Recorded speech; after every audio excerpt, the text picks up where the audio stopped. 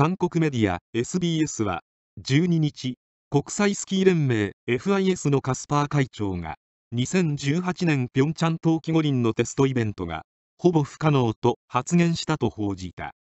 SBS などによるとカスパー会長は A メディアのインタビューの中で現在の状況ではピョンチャンの競技場でスキーやスノーボードのテストマッチを来年2月に予定通り実施することはほぼ不可能と懸念を示した。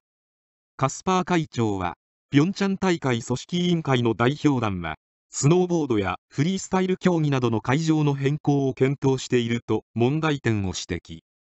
特にアルペンスキーについては新競技場で来年テストイベントを行うことはほとんど不可能と述べたという。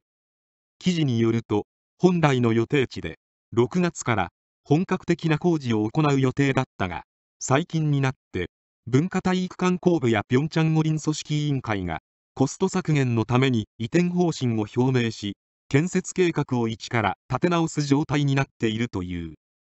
またスキーの競技場の進捗率は30%以下でフィニッシュライン付近ではまだ10世帯の立ち退きが決まっていない。SBS は全ての工事でトラブルが相次いだ上に国際社会にも懸念が拡散し組織委員会は戦々恐々としてると伝えている。